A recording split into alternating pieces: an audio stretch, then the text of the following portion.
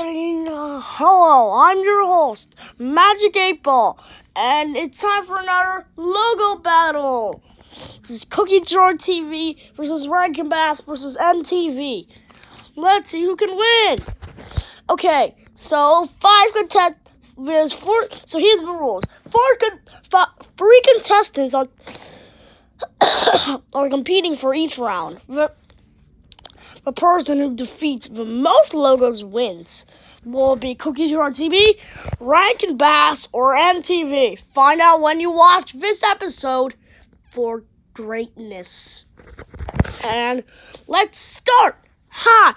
I was almost the first object to touch the moon, or logo to touch the moon. No, I was. Ow! Ow! Yes. Ow! Stop it, Cookie Jar TV! No!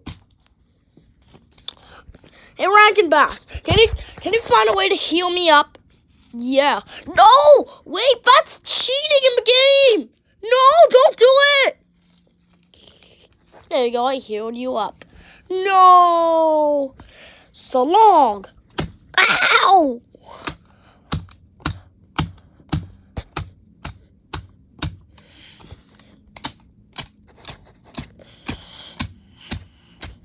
Come on. Rankin Bass, I know what you're doing. You just heal me up.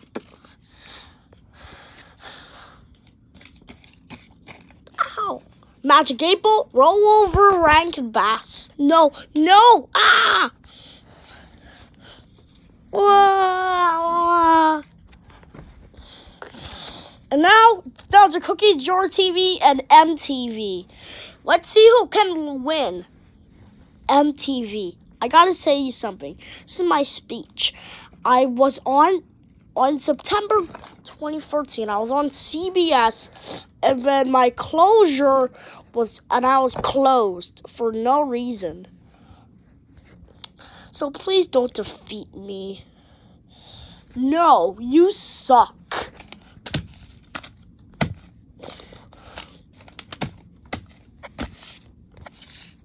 I'll shred you into bits.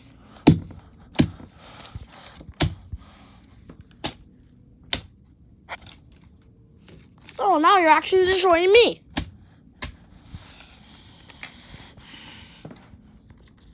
Oh no, we're stuck! Oh no! How dare you, MTV? Oh, we're unstuck. Well, thanks for getting me stuck for 10 minutes or 10 seconds if I can recreate my spelling. Magic 8 Ball, ask him a dumb question. Did I drink Magic 8 Ball's hand sanitizer?